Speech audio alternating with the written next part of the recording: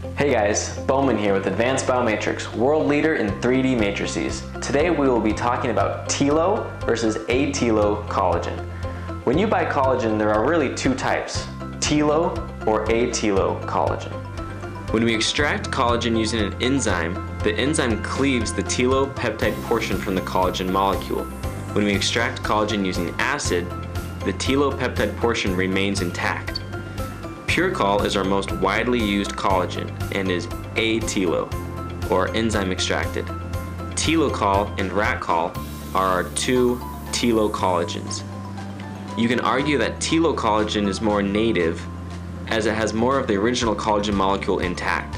They are both great for 3D gels and cell culture, though there are a few differences. According to this rheology graph, telo collagen gels quicker and forms a stronger gel than atelo collagen. So now that you know the difference between telo and atelo collagen, be sure to give us a call or shoot me an email so we can discuss which one would be best for your needs. Also, be sure to check out our website and view our other products and videos. We look forward to working with you. Thanks for watching.